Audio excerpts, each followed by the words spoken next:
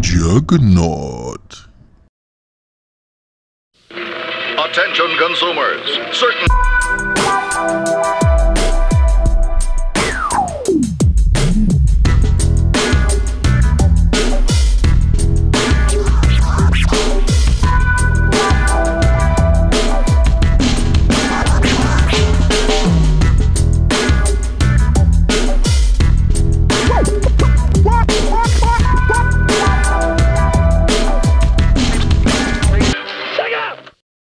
Hello and welcome to my top 50 Sega Game Gear games. The rules are simple. You must be able to play them without knowing Japanese. They must be a retail release only and they must still be fun to play today. So without further ado, here are my top 50 Sega Game Gear games. Number 50, Virtua Fighter Animation, also known as Virtua Fighter Mini. The fighting is simple, it's pure. You've got this zooming in and out function where the further away from your enemy you are, the smaller you get. It's great. Number 49, Tatakai Pro Yakyu Twin League. Um, for some reason, there are a ton of baseball games on the Game Gear. This is my personal favourite. I love the style. The gameplay's simple and frenetic, and it's really enjoyable. Number 48, Micro Machines 2 Turbo Tournament. Now, while it's a bit more difficult to play on the handheld due to the limited field of view, this is a real enjoyable game. Um, you can go versus, you can go head to head, and you can do a campaign single player. Number 47, NBA Jam Tournament Edition. Short, simple, frenetic, action based basketball at its finest. The original NBA Jam game was okay on the Game Gear too, but this really pumped things up to 11 absolutely fantastic. Number 46, Vampire Master of Darkness. Now, this is Sega's answer to Castlevania. It doesn't quite hit those heady heights, but it is an enjoyable Metroidvania style platformer game. Number 45, Power Drive. Apologies for the visuals on this, it doesn't quite video properly, but this is a pre rendered racing game similar to Donkey Kong Country, except for driving, and it's a really cool rally game. It's just you against one other player. Great fun. 44. Drop Zone. Take Defender, take away the ship. Just you and a jetpack trying to save these little round balls, which are supposed to be humans, in this alien environment. Defend them from mutation. Um, it's a great, simple arcade game. 43 Putt and Putter. Now, this game is as enjoyable as it is utterly frustrating. Sometimes you get this pure elation when you get a hole in one, and the other time your ball will just have an unlucky bounce and will send it careening back to the beginning and it will drive you insane. But you keep coming back for more. 42 Ninja Gaiden, and it's a unique adventure purely for the Game Gear in the Ninja Gaiden series. It's not the best Ninja Gaiden game out of the lot, but it is still an enjoyable adventure. 41 The Terminator. Uh, Terminator on all three Sega formats is a fantastic game. The Game Gear version is just a portable version of the Master System game, and the Master System game was fantastic, so that's that's absolutely brilliant. Loved it. 40. Jungle Strike. This is probably the best handheld version of the Strike series available. Uh, Desert Strike and Urban Strike both blurred quite horrifically when you played it on the Game Gear screen, but the simplistic style graphics of Jungle Strike complement the handheld well. 39. Are you kidding me? Samurai Showdown for the handheld Game Gear? Believe it or not, this plays very well indeed. Of course, it can't replicate the graphics of the arcade original. It can't even look like the Sega Mega Drive Genesis version, but what it can do is play a mean versus fighting game. 38, the second Terminator game on our list and the second Master System port of a Terminator game. This is phenomenal. It takes the 16-bit original of Robocop v Terminator, shrinks it down miraculously onto the handheld, still retains all the gore, still retains crisp, clean graphics and excellent level design.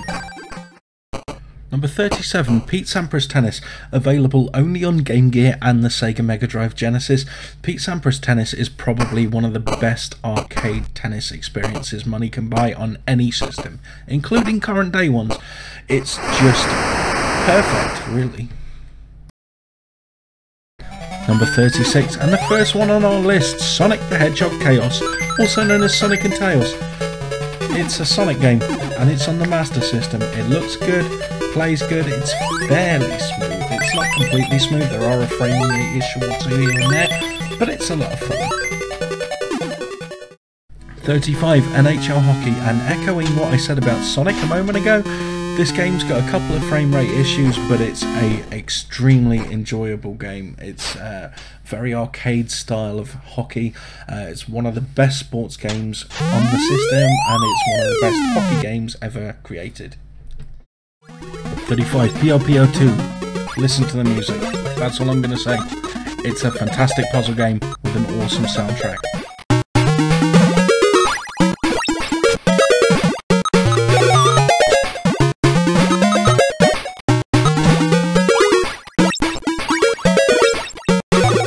33 Tempo Junior, designed as a companion to the Sega 32X version of the game.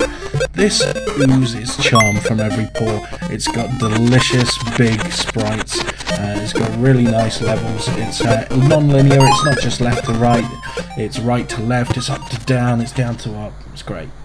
32 FIFA International Soccer, and it's almost as good as the 16 bit cousin of the game. Um, they somehow managed to cram one of the greatest football sims ever onto a handheld and make it really fun, really bright and crisp and colourful. Let's just not mention FIFA 96. 31. GG Shinobi or Shinobi GG. Um, it's a unique Game Gear entry into the Shinobi series and it's renowned for its insane difficulty.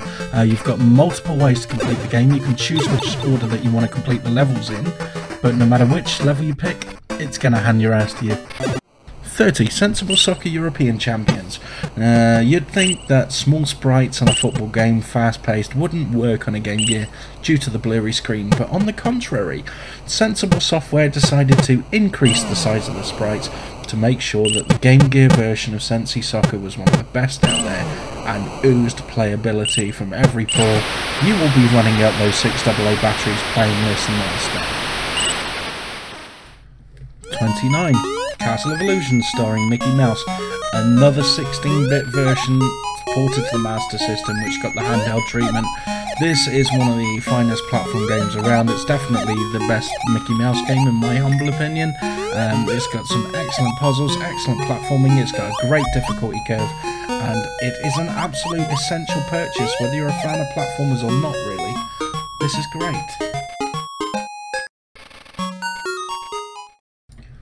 28, Space Harrier. Now this is a bit weird, it's the same as the Master System version in terms of engine, but they've completely changed the levels. They swapped out enemies, they've redrawn sprites for them bosses, and uh, they changed the level arrangement so that some levels come quicker than others. It's a bit weird in that regard, but it's still an awesome game, still worth checking out, even if I prefer the original Master System version. Number 27, the excellent Dizzy Collection. Dizzy the Adventurer is one of three games available on this cartridge. It's a platform puzzle adventure game. It's really good fun, excellent graphics and visual style. You also get a puzzle game called Panic Dizzy, which isn't that good to be honest. And you also have a really fun maze type game called Go Dizzy Go, which I'm playing right now, and it's a lot of fun. Um, on the whole, three games in one, bang for your buck, really good. Number 26, Sonic Drift 2. This is Sega's answer to Super Mario Kart. Does it beat Super Mario Kart? Not a chance. Is it good? Absolutely. Um, this is a very difficult racing game. Um, you need to master the drift mechanic of your racer. Because it's at such a blistering pace set by this game, you will get corners coming up to you before you can react to them, so you really have to learn each corner of each racetrack. But it's fun. Number 25, Dynamite Headdy, and another 16-bit game that was ported to Master System Game Gear. Um, this was a graphical tour de force on the 16-bit system, um, and the Master System and Game Gear versions are bright, colourful, beautiful renditions, and they don't cut that much out of the 16-bit original to be honest. It's almost all here, with the exception of those isometric areas. absolutely brilliant platform game. It can be quite expensive now, but check it out. 24 Defenders of Oasis. It's not original in any way, shape, or form. It doesn't excel in any way, shape, or form, but what it is is a solid all round RPG. It's got fair RNG mechanics for the fight system, uh, it's got a great story, it's got neat graphics, it's got really pretty solid sound, if not exceptional. It's just got the whole package, and it is a chat title you've got to check out. Number 23, Chuck Rock 2, Son of Chuck. And it's a gorgeous European platform game. It's got stylish, bright, bold, colourful levels. It's got great design, it's got a high difficulty curve with plenty of challenge, and it's got a sense of humour.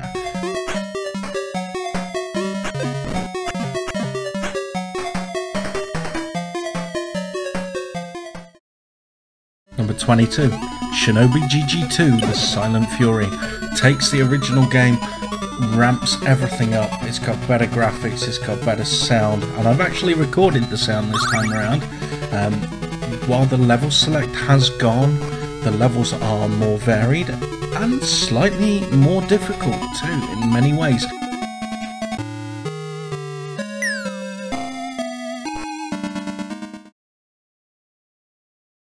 Twenty-one Tails Adventure, an exclusive to the Game Gear. This takes Miles Tails Prower from Sonic 2 and puts him in his own slower paced arcade adventure. And it's a wonderful platform game. It's got great graphics, it's got great style, fantastic music, great difficulty curve. It's just great all round, really, and it's not just for kids. It's got a real challenge here. Give it a shot. Number 20, Sonic the Hedgehog Triple Trouble, Sonic and Tails 2. This is a fantastic game. It fixes a couple of the frame rate issues that Sonic and Tails 1 had.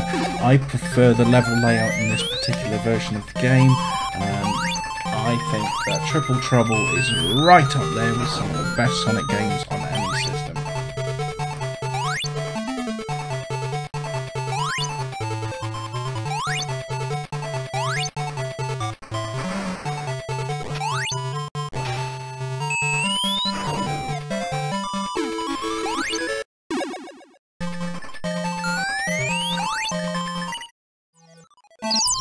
19, Super Columns.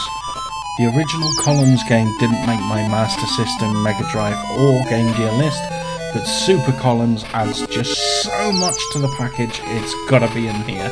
Um, not only is Super Columns a great puzzle game, um, it's got a story mode now, um, it's got a versus flash mode, it's, it's got a whole host of features, it's just wonderful. And Columns is one of my favourite puzzle games anyway. Um, and it's one that for some reason you can zone out and just play for hours and hours and hours.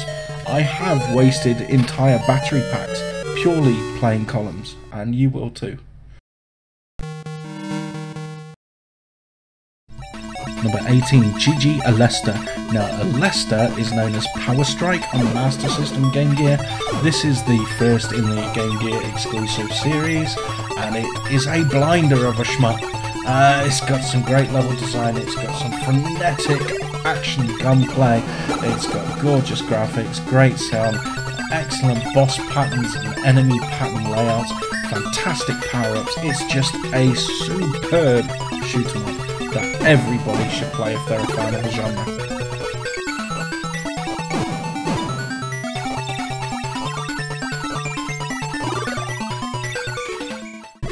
Number 17, Wonder Boy 3 The Dragon's Trap.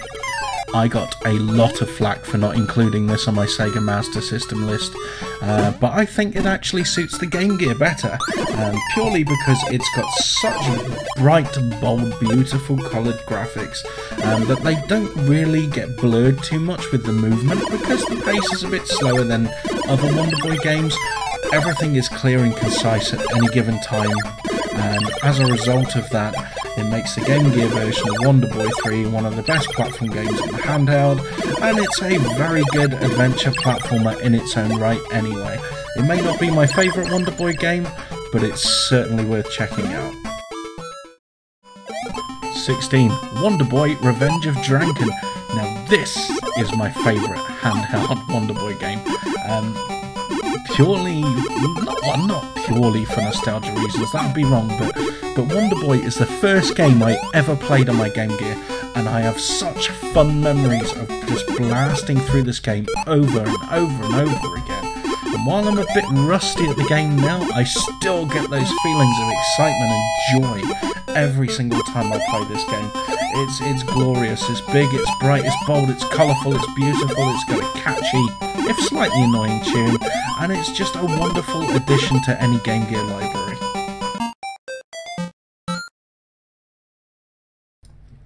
Number 15, Mortal Kombat. Much like the Master System version of its 16-bit cousin, it's incredible that they managed to fit Mortal Kombat onto an 8-bit system and made it play well.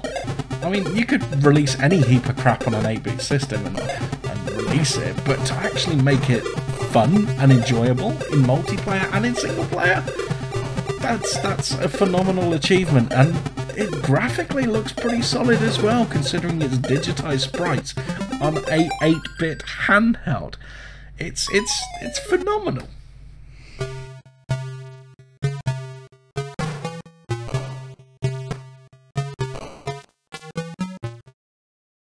Number 14, Mega Man.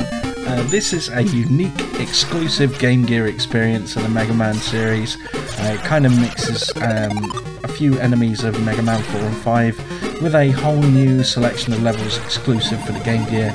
It's hard as nails. It's it's Mega Man, basically. It's Mega Man. It's hard as balls.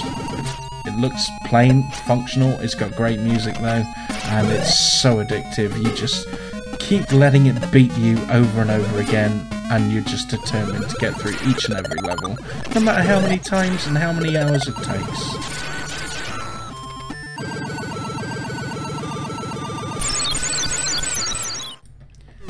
Number 13, Road Rash. I love Road Rash. I loved it on the Mega Drive Stroke Genesis. I loved it on the Master System. I loved it on the Game Boy. I loved it on the Game Boy Color. So naturally, I'm going to love it on the Game Gear too. It's a very, very close rendition to the 16-bit version. In fact, at a glance, if you just blink, you could think that this is the Mega Drive version running. It's quite an astounding achievement that they managed to get this rendition of the game so close to the original. It's still got all the gameplay in there, controls brilliantly, the frame rate is a bit slow, but you can't have everything. What it has got is buckets and buckets and buckets of gameplay. Number 12, Power Strike 2, GG Alesta 2. This takes everything on the original game and just cranks it. You've got more enemies on screen, more bullets, more power-ups, more excitement, better levels, better graphics, more projectiles, more insanity as you play through this game. It's so much fun as a shmup. It's so addictive. You just want to see what the next level brings, and the level after, and the level after that. Um, you will play this through, you will master the patterns quite quickly, because you'll just play this non-stop until you complete it. It's just one of those games, and when you complete it, you want to master it.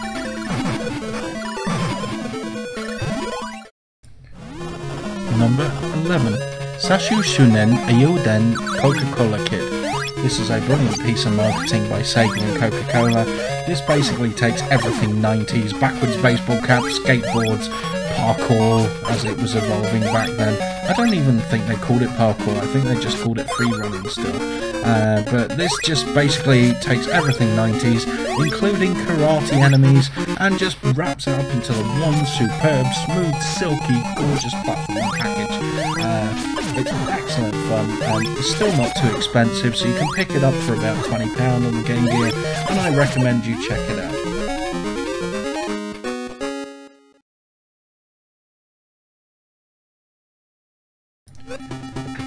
Number 10, Arena Maze of Death. Now, I've never played this game before, and I was recommended to check it out by a friend. Um, and I can't thank him enough. Arena Master of Death is one of the greatest Game Gear games. It's got um, excellent isometric art style, devilishly difficult puzzles. It's got some hardcore shooting in there as well. A lot of exploration. It's just it's just got the whole package for me. It's it's a wonderfully unique Game Gear title as well. There's no other game quite like it, and I think that Arena Maze of Death should be known by more people. Please check it out. Number 9. Axe Battler, A Legend of Golden Axe. While they do say imitation is the sincerest form of flattery, in that case, Zelda will be extremely flattered right now because this is totally a rip-off of Zelda 2. Uh, everything from the, uh, well, well, not exactly from Zelda 2. It's like a mixture of Zelda 1 and Zelda 2. You've got this overhead map screen, but you also have these side-scrolling platform elements as well. It's extremely difficult, but it's extremely fun. Uh, the the art direction kind of reminds me of the Super Nintendo game called ActRaiser, which was in my top list for the SNES. Um, and that's no bad thing by any means stretch, you know. Uh, Axe Battler: A Legend of Golden Axe is a highly sought after title for the Game Gear, and when you play it, you'll understand why. Number 8, Mortal Kombat 2! Are you crazy?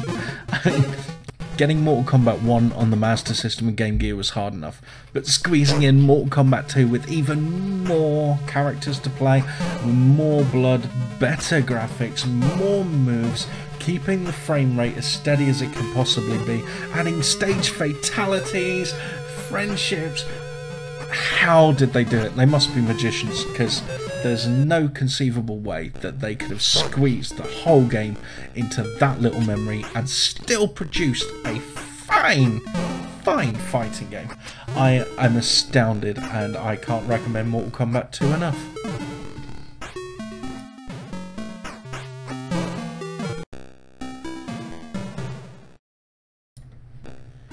Number 7, Ristar. This was a pleasant surprise. The Mega Drive Genesis version nearly made my top 50 list. It didn't quite make the cut, but I'm pleased to say that this Game Gear version does. It's gorgeous. It's a wonderful Game Gear game. The graphics are exceptional considering the limitations of the system. The level design is devilishly difficult. Um, don't let the cutesy looks fool you. This is a hard platform game. Plenty of challenge, plenty to keep you interested in. Lots of hidden items and lots of hidden areas. There's lots of different mechanics that get carefully introduced as you explore the levels. And Ristar is just a wonderful unsung hero for the Game Gear. And I think that everybody who likes a platformer should like Ristar. Number six, everyone who likes a platformer knows this one Sonic the Hedgehog. Now, I am in a rare camp. I think that the 8 bit version of Sonic the Hedgehog is better than the 16 bit version of Sonic the Hedgehog. And I'll tell you why. The levels are more crisp and concise, they still keep the flow of speed going at all times. It's very intelligently designed. They've added a couple of features that weren't evident in the 16-bit versions, and the bridge level is one of my favourite platform levels of all time. It's it's just really well designed while still remaining very challenging. Oh, and the music is pretty cool too. And I like the fact that they redesigned the Sonic sprite completely for the Game Gear version. It's different to the Master System version, which used the same sprite as Sonic the Hedgehog 2 did.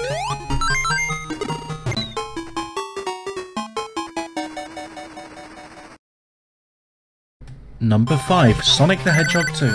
I think this surpasses the original in every way, shape and form. It's smoother, it's faster, it's bolder, it's more difficult. Uh, it's just a wonderful, wonderful game. It's one of the greatest platformers of our time. They've added some new tricks over the original game in this one. You can collect rings like you could on the 16-bit version. You couldn't do that on Sonic 1. Um, you could also jump into minecarts, and you've got some gliding levels too, which were unique to this particular version of the game. You didn't get it on the 16-bit systems. Uh, I think that Sonic the Hedgehog 2 on the Master System Game Gear is better than the 16-bit version, and I think it's a wonderful platform game that everybody will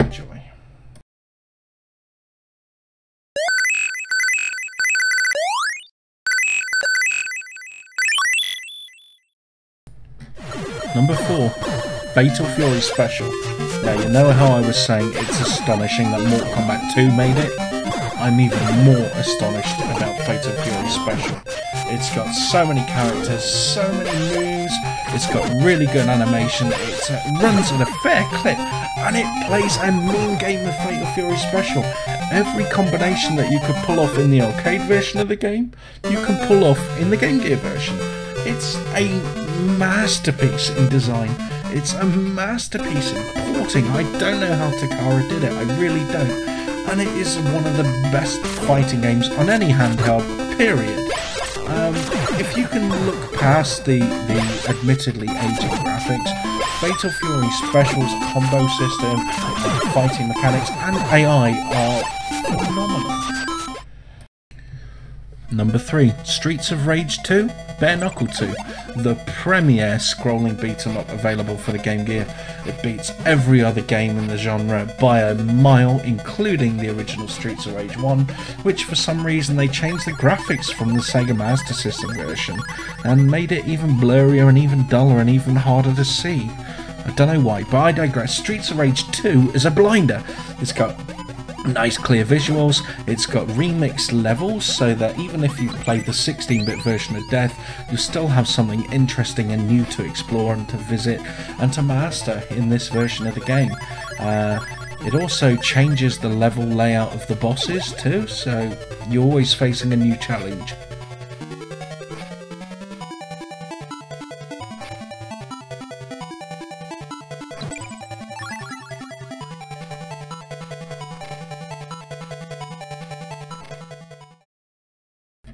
Number two, Gunstar Heroes. Wow.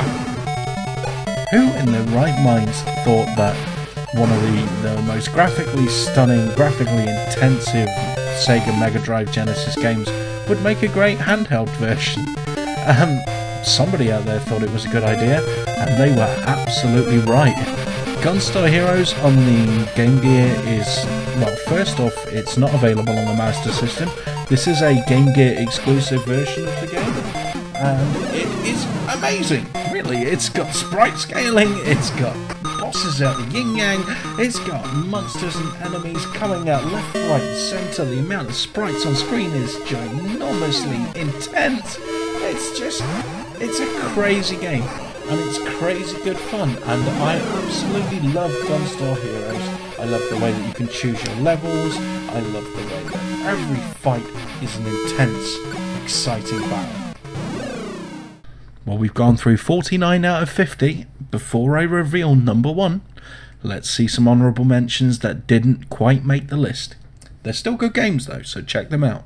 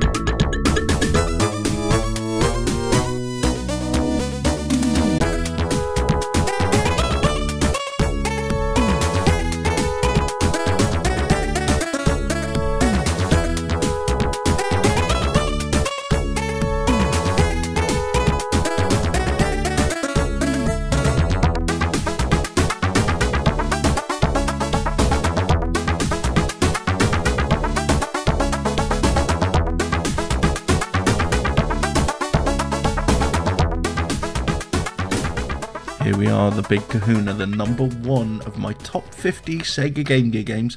It's been a long road, there are some difficult decisions made along the way, but my personal number one Game Gear game of all time is Shining Force, The Sword of Hajya. Now this is the second of three Shining Force games released on Game Gear. It's the only one that was released in English. For some reason, Shining Force Gaiden, the first game, and Shining Force 3 were never released in the UK or the US. They never got translated officially to English, which is a bit of a shame. Um, this one takes uh, its story about a decade after the 16 bit Shining Force 2, and it's a direct continuation of Shining Force Gaiden. Um, unlike the 16 bit versions of Shining Force, the Game Gear games focus entirely on the nitty gritty, the combat of games. Uh, it doesn't really focus on exploration that much, which the 16-bit versions did. There is no filler. They've they've really crammed it down to the pure essence of what makes a great RPG. Um, people who may like a, a larger side order of kind of role-playing games, exploring cool towns and that kind of thing, they may be a little disappointed with this game. But me, I always found that cumbersome anyway. Personally, Shining Force 2 is everything I want out of an RPG. It's it's got a great story, it's got great combat, it's got fantastic visuals. It may not look it from the overview screens here, but when you're actually in a battle, it's so detailed and so wonderfully drawn. It brings you in and it grabs you. It's a really good game. It's got a little bit of humour in there as well. It doesn't take itself too too too seriously. And it's such a great game. It's it's exactly what you'd hope from a Shining Force title, and it's exactly what I want out of an RPG. And I hope you enjoyed this top 50 Sega Game Gear games.